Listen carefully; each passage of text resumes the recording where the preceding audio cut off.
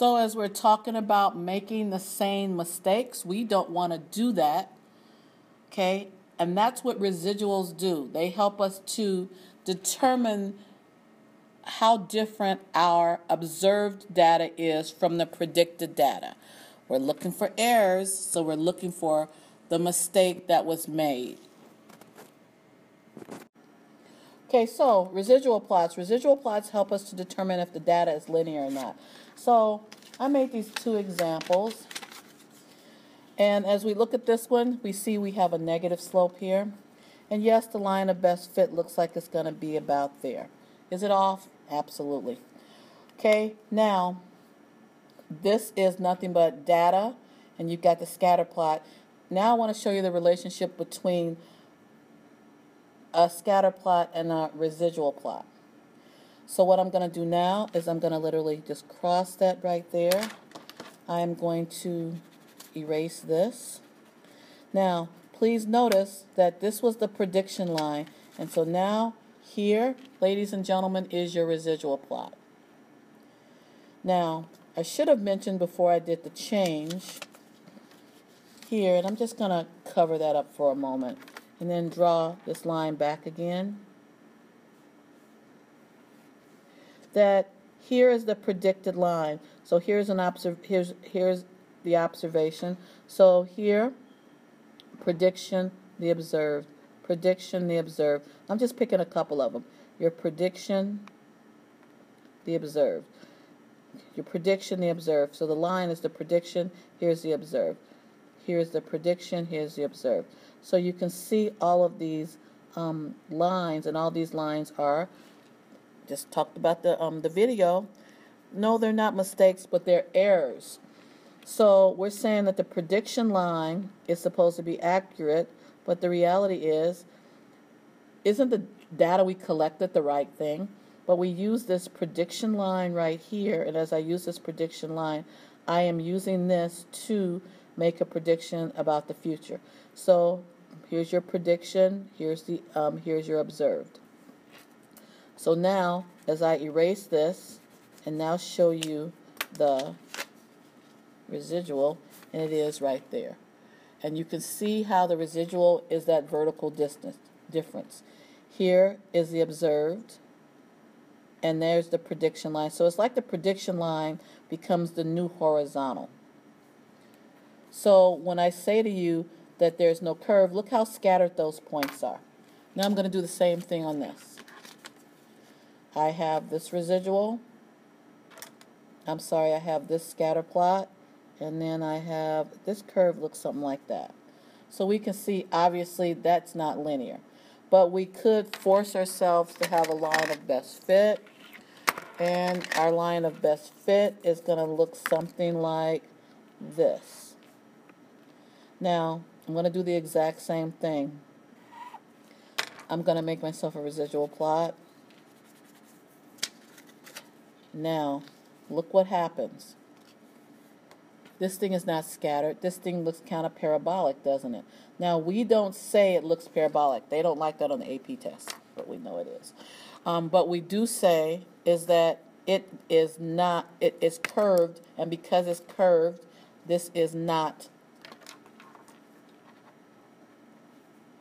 a line. Okay, so not a linear pattern. So this is just reiterating something I said earlier today in class. So the next thing I want you to do is to read this question and enter this data into your calculator. Now, once you've entered it, we're about to fill out this chart, find the equation of a line. And as you find the equation of a line, this is what you found. Remember we talked about earlier, you have to make sure to define it. So here, where y hat is the predicted height of the men and where x is the height of the men. Okay, I've color coded the men and the women. Yeah, don't judge me on the color differentials. Um, but I did that to help us with um, what we're about to find. Now, please notice if you have the observed values there, ignore them or white them out. You're going to put them back in, so I don't know if you really want to white it out. So next thing I need to do is find the predictive value. So here, how do you do find the predictive value when you were in Math 3? Well, what you did was you took your values of x and you plugged them in to that equation, which is what I did right here, and here is your answer. The next one, I have my value of x, I plug it into the equation, and here's the answer. As I put this in context, here, here's the equation that represents um, represents the data that I have, in which I'm going to plug in the height of the female to be 66, and with that being said, it is predicted that the male height is going to be 68.8. That's the prediction. Notice that what I have right here at the 66, that's the observed, but if we use the prediction line, that is what is predicted.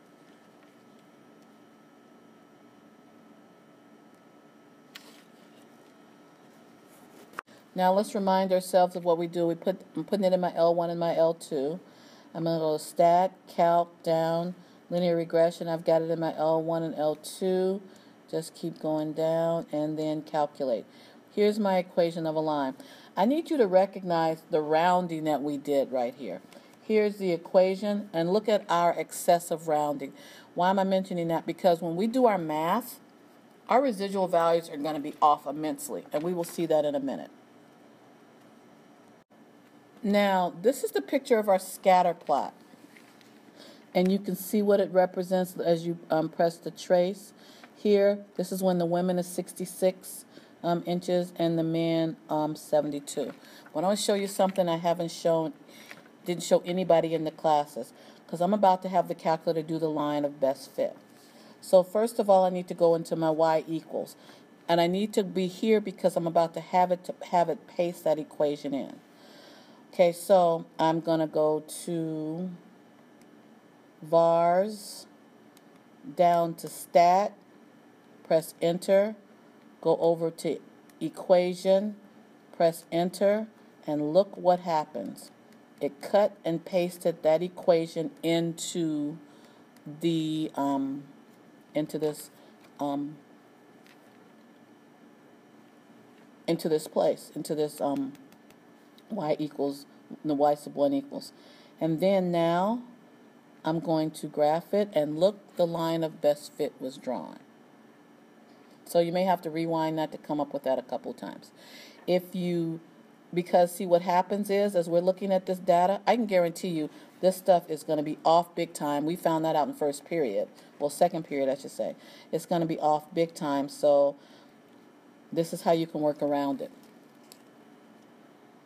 Matter of fact, let's check it out now. So let's go to our stat here, and then my L3. I'm going to paste that equation in again. So remember, I'm going to vars down to statistics. Press enter. Go over to equation. Press enter. And there's that long equation right there. And I'm pressing enter again. What type of error did you make? You probably didn't like it. Oh, I know where the error lies. Here it says the value of x. But what I need to do is instead of saying x, because there is no x right there, I need to insert L1. So second insert my L1. And that x has got to go, so I'm just going to press delete. And then if I press enter, here are the values. And as I look at these values, look how different they look from what I have or what we calculated. This one's exactly 69. This is 68.8. This one's 67.52, um, and the calculator is 67.63. Okay, I don't know your thoughts are. Well, is that going to really be a big deal? Yeah, it will be when we're doing our residual. So the next thing I need to do is to find the, re the residual. And if the residual is the observed minus the predicted, I am now going to write in what my observed values are. So here that is 72 for the men, 68. Okay, so those are the, the values. And now what I'm going to do is do the math. Now I'm going to do the math based on these rounded values. We already know that there's a rounding error based on this right here. So when we found it, there is, those are the residual values. And this is when we did it by hand.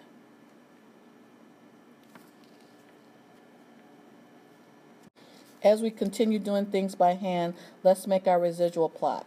So as I make my residual plot, recognize here, I'm going as high as 3 and as low as a negative 3 based on these residual values that I have here. I know I could have gone taller, but yeah, not that, I don't have to worry about it. These values right here are our X values, which represent our women. So I have these in numerical order. And here, as I look at the score for, this is the woman that is 66, so 66 which is this first one. The residual is 3.12. Okay. Next, when I have the um, female that's 64 is 64, here's the residual value right here, 0.48. Next, I have the um, female height to be um, 66, which is the one right here. The residual is 1.12 here, 65, 65 right here. Where'd it go, where'd it go? Let's look at that value. Notice that the residual slightly under. It's right there if you missed it. Okay, here, when I'm looking at the women's height, to be 70, which is here, you can see the residual. And then when the women's height is 65, here, here is the residual. So that's how we do a residual by hand. And that was kind of painful. So now let's do it with the calculator. So now let's take our L3 and I want to move my L3 to my L4. So I'm clearing my L4 and I'm going to tell it my L3 equals my L4 or I should say my L4 equals my L3. So here I'm matching that list because I never know if I'm going to need it. So now I'm going to clear my L3. And what I'm about to do is have the calculator do a resid. Oh, but wait for it. I didn't tell it to find the resid yet. So, as I have the calculator find the resid, first thing I need to make sure is that I had it find the equation of a line, which I did, but let's go back. Here, this is because it's been a while. So I've got stats, go to calc, down here to um, 4. All my lists are okay. And there's my equation of a line. Next, what I'm going to do is have it to find the resids in two ways. So the first thing I'm going to do is have it find it on the chart. So here, edit, and then I'm going to go over to my L3. And on my L3, I'm going to say, okay, I want my residual values to be here instead of us doing it by hand like we did. Now, how do I find the resid? Okay, I go second list. Okay, so I'm press. I need to get to that list right there. So second stat. So to get to list, second stat, second list, whichever way you want to think about it. And then I see the word resid. Please remember, if your word does not pop up, that's because you did not find the equation of a line um, at first. Okay, so here I've got enter. So now it's telling me L3 is going to find the resid. And here are all the resid values. Now notice how ours is slightly off because we already established that. This was by hand, this is by calculator. So this is 3, okay? This is more accurate than our by hand. This is, um, we found the resid for the second one. Our by hand is 0.48. Here's 0.36. Here, by hand, is 1.12. Calculator is 0.1. I mean, excuse me, not 0.1, is a 1. So please remember, we have to do, um, well, the one that's more accurate is the calculator. Now I want to say some, show you something that I mentioned a couple seconds ago. Now what I mentioned a couple seconds ago is that the word resid will not pop up if you do not tell it or do not have the calculator um, find the equation of the line first. So I want you guys to look at this calculator. This is a brand new calculator. No one's ever entered anything in this calculator. Notice there's no L1, no data in your L1 and L2. So let's try to find a resid. telling you this will not work, but let's confirm. So I'm going to go to second list. What do you see there? Oh, You don't see the word resid. Why?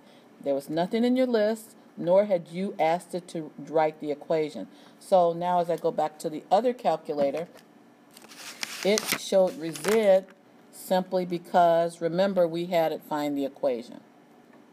So I just wanted to bring that to your attention. So now let's go back to my um, stat edit. Let's look at all these residual values right here. Okay, so this is another way of doing it with the calculator. We did it by hand, and we'll never do it by hand again, at least I won't. Um, let's learn how to use the calculator and do it that way. Oh, forgot to show you. How do I do the residual in the calculator? So here, I'm going to go to my stat plot. I've got it on. Now, my residual values, my L1 is my x-axis, and let's notice here, my L1 is going to stay my horizontal. It's going to stay my horizontal. So, remember I said to you earlier as I try to get out of the light that your, oh, that made it worse, maybe better, that the residual value is nothing, the residual plot, excuse me, is nothing but a, um, a type of scatter plot. So I've got it on scatter plot here. I'm just going to keep moving. And here, notice that my L1 is going to stay the same. The horizontal is going to stay the same. What's going to change is my L2. What I've got to do is take this word, take this and replace it for the word resid. So here, second list, go down to the word resid and it cuts and pastes it in there. And I'm going to zoom stat. And here is my residual plot. And I know your thoughts are, well, that looks like a scatter plot with the horizontal line through it. Exactly. You know that that's basically your T is here that you can't see it. This value right here is the horizontal, which is your zero. And then you can press the press trace. Oh, let's see what's happening. That point right there when you have the resid, when you have the um, women's to be um, 66 inches, look at your residual values, 3. Let's look at what we have here. Remember, we already established that there was a rounding error in here when we did it by hand. And you can just keep pressing trace as you move along.